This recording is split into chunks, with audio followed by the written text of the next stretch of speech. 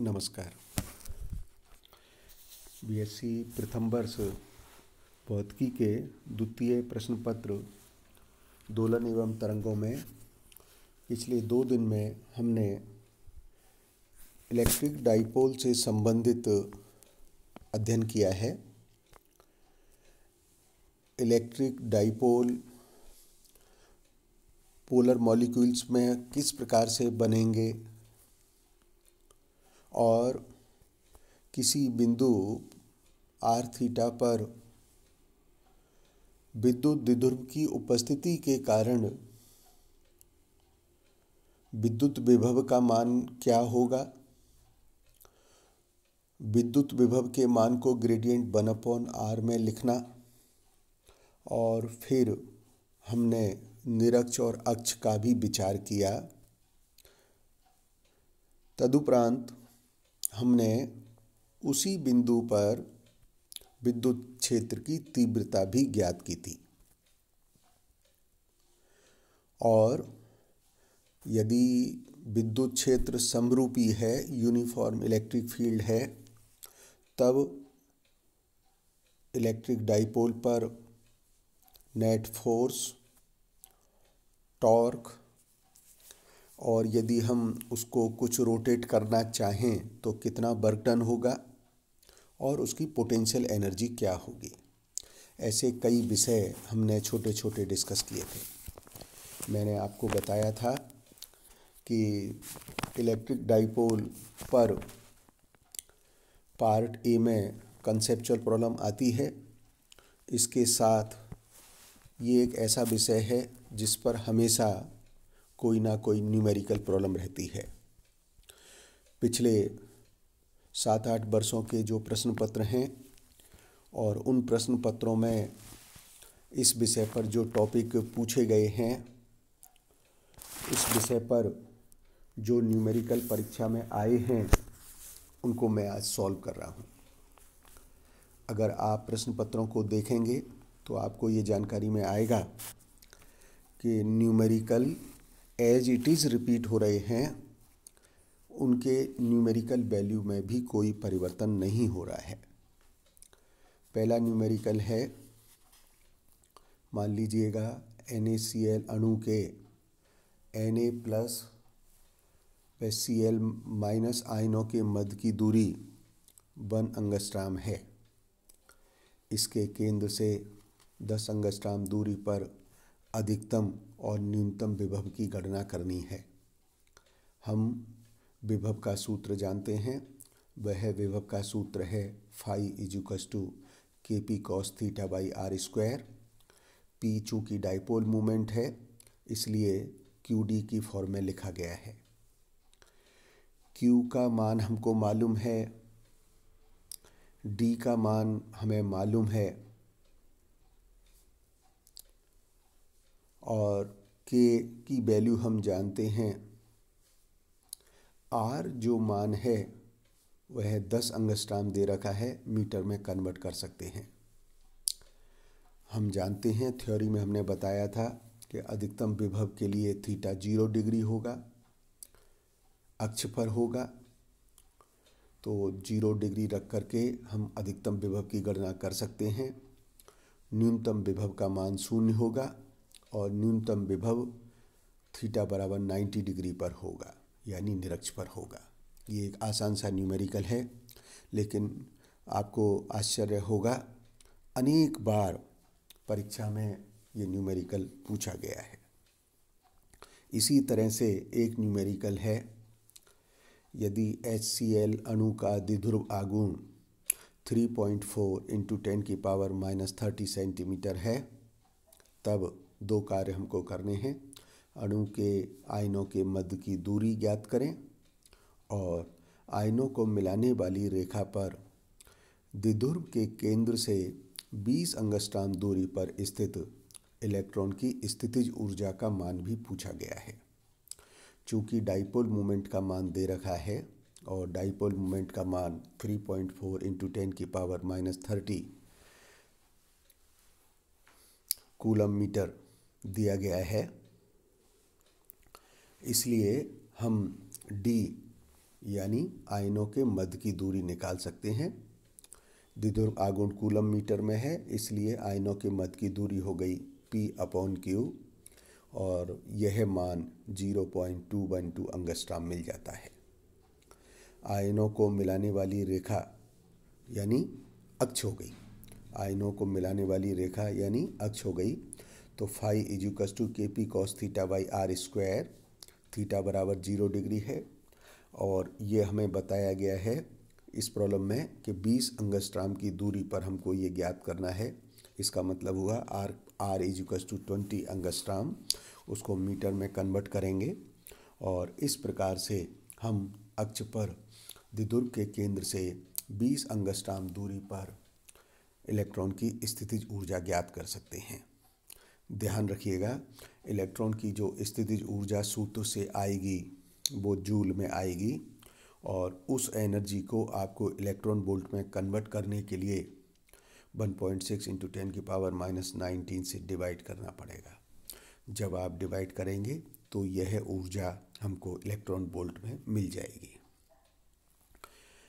एक प्रॉब्लम तीसरे नंबर का जो हम डिस्कस कर रहे हैं एक इलेक्ट्रिक डाइपोल में Q is equals to two into ten की पावर माइनस सिक्स कूलम परमाण के दो विपरीत आवेश दो सेंटीमीटर की दूरी पर स्थित हैं। दूरी बता रखी है चार्ज का मान दे रखा है। और इस डाइपोल को टू इंटू टेन की power five volt per metre वाले विद्युत क्षेत्र में रखा गया है। काम क्या करना है? द्विध्रुव पर लगने वाला कार्यरत अधिकतम बलाघूर्ण। टॉर्क का मान ज्ञात करना है। दूसरा, इसी में प्रश्न और आगे बढ़ाया गया है कि यदि ज़ीरो डिग्री से 180 डिग्री तक हम इलेक्ट्रिक डाइपोल को रोटेट करें यूनिफॉर्म इलेक्ट्रिक फ़ील्ड में तो इस रोटेशन में जो किया गया कार्य है, उसका मान भी बतलाइए। तो पहला जो कार्य है, वह है अधिकतम बलाघूर्ण हमने टॉर्क के लिए मान निकाला था। आपको ध्यान होगा be when be kept an electric dipole in a uniform electric field then expression for torque is torque is equals to vector p cross E therefore it become p E sine theta यहाँ पर अधिकतम निकालना है, इसका अर्थ हुआ theta 90 degree हो गया। तो पी ई यानी क्यू डी ई के गुणनफल से हमें टॉर्क का मान मिल जाएगा। जबकि ज़ीरो डिग्री से 180 डिग्री रोटेट करने पर हम जानते हैं expression, net expression for work done in rotating electric dipole in uniform electric field is W इजिकस to p E cos theta one minus cos theta two इस केस में theta one zero degree है theta two एक सौ अस्सी degree है तो हम किया गया जो रोटेशन में कार्य है वह देख रहे हैं, टू पी ई आएगा और इस प्रकार से यह हमको ज्ञात हो जाएगा। एक प्रॉब्लम इस प्रकार से है कि यदि एस सी एल का एक अणु टेन की power four volt per metre विद्युत क्षेत्र में रखा है तो विद्युत क्षेत्र से 30 डिग्री कोण बनाता है, तब लगने वाला बलागुण का मान निकालें और द्विध्रुव को विद्युत क्षेत्र के लंबत करने में किया गया कार्य की मान करें। द्विध्रुव की लंबाई 1.6 अंगस्ट्राम दे रखी है। हम जानते हैं जो बलागुण है वो पी ई साइन थीटा है।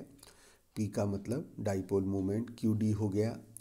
तो हमको डी का मान दे रखा है क्यू का मान दे रखा है ई का मान दे रखा है, थीटा तीस डिग्री दे रखा है, जिससे sine theta one by two हो जाता है और इस प्रकार से हम जो टॉर्क है उसके मान को निकाल सकते हैं और मैंने जो ये हल किया है, यह टॉर्क का मान निकल के आता है one point two eight into ten की power minus twenty five newton metre. दूसरा कार्य पूछा गया कि इस द्विध्रुव को विद्युत क्षेत्र के लंबत लाने में किया गया कार्य। तो अभी हमको, जो अभी पहले न्यूमेरिकल किया था, उसमें दोनों कोण बता रखे थे। इसमें 30 डिग्री पर स्थित है और 30 डिग्री से हमें 90 डिग्री करना है।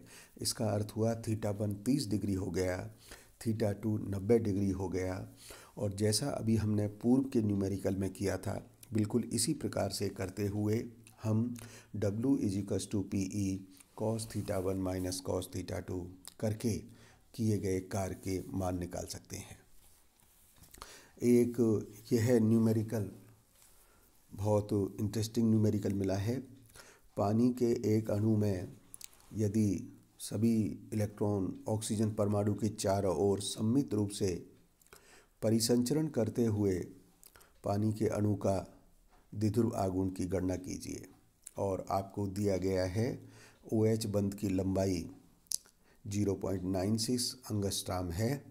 ओ एच के मध्य कोण 104 डिग्री है और इसमें कॉस 52 का मान भी दे रखा है 0.616 हम जानते हैं डायग्राम को देखिएगा आप, दोनों के मध्य में जो बंद कोण है 104 डिग्री डिफाइन किया हुआ है। मैंने जो परिणामी द्विध्रुव आगुण होगा, उस डायग्राम को भी चित्र में दिखाया है। तो द्विध्रुव आगुण का जो मान होगा, वो क्यू डी होगा। क्यू का मान दे रखा है। डी का मान पॉइंट नाइन सिक्स अंगस्ट्राम दे रखा है। इसलिए द्विध्रुव आगुण पी वन पी टू बराबर हैं। उनका मान कैलकुलेट कर लिया गया है।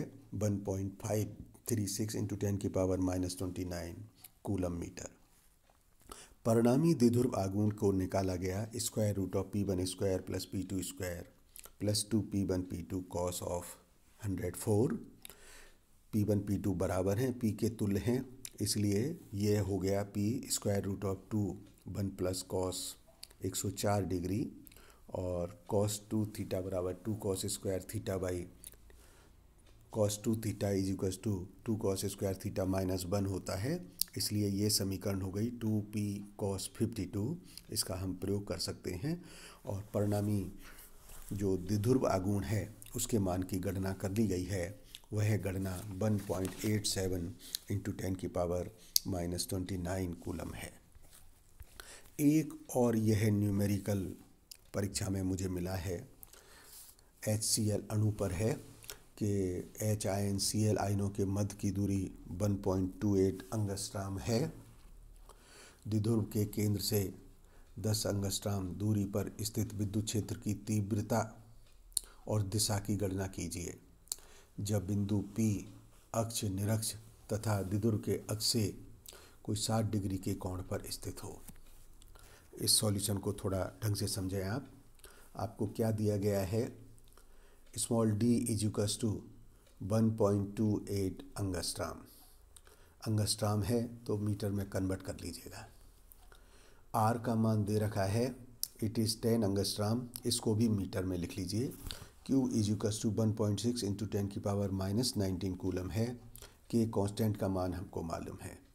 अतः डाइपोल मूवमेंट का जो मान हो जाता है, वो है P is equals to Q D और इस प्रकार से हमने डाइपोल मोमेंट के मान को निकाल लिया है। अब बात कर रहे हैं अक्ष पर। तो हम जानते हैं जो हमारे विद्युत क्षेत्र की तीव्रता है, उसके जो दोनों प्रमुख घटक हैं, वह घटक होता है E X is equals to three K P sine theta cos theta by R cube जबकि ई जेड जो दूसरा घटक है, उसका मान होता है K P three cos square theta minus one upon R cube अक्ष पर पूछा गया है, इसका मतलब हुआ थीटा बराबर ज़ीरो डिग्री थीटा बराबर ज़ीरो डिग्री होने से ई एक्स ज़ीरो हो जाता है। और ई e जेड का मान निकल के आता है टू के पी बाई आर क्यू जिसकी हम गणना कर लिए हैं। यदि हम निरक्ष पर इसको देखें तो निरक्ष पर थीटा बराबर नाइन्टी डिग्री होगा। पुनः जो पहला घटक है, उसमें चूँकि कॉस थीटा, साइन थीटा दोनों की टर्म है, अतः निरक्ष पर भी जो प्रथम घटक ई e एक्स है, उसका मान शून्य होगा। ई e जेड के मान को निकाला जा सकता है। और ई e जेड का जो मान आएगा माइनस के पी बाई आर क्यू आएगा। इसका अर्थ देख रहे हैं आप, इसमें जो ई जेड निकल के आया है, वह है minus one point eight four into ten की power S volt per metre है, और इसकी दिशा विद्युत विध्रुव की जो अक्ष है, उसके विपरीत है। जब बिंदु P का स्थिति सदिश द्विध्रुव के साथ साठ डिग्री का कोण बनाए, यानी theta is equals to sixty degree cos sixty sine sixty degree के हमको मान मालूम है। अब आप ई एक्स और ई e जेड दोनों घटकों को गणना कर सकते हैं। E X is equals to three K P sine theta cos theta by R cube E Z is equals to K P three cos square theta minus one upon R cube और इस प्रकार से जब हम उन दोनों घटकों की गणना कर लेते हैं तो परिणामी विद्युत क्षेत्र निकल के आता है E is equals to square root of E X square plus E Z square और टेन अल्फ़ा जो दिशा के लिए निकाली गई है, उसका मान होगा E Z upon E X और इस प्रकार से हम उसकी दिशा को भी ज्ञात कर सकते हैं। तो पिछले साल सात आठ वर्षों में जो इलेक्ट्रिक डाईपोल पर न्यूमेरिकल प्रॉब्लम पूछी गई हैं। मैंने वो सभी आपको हल की है और मैं ये आशा करता हूँ कि ये सभी प्रॉब्लम्स जब आप देखेंगे तो आपको विषय रोचक लगेगा और आप परीक्षा में बहुत अच्छा कार्य कर सकेंगे। धन्यवाद।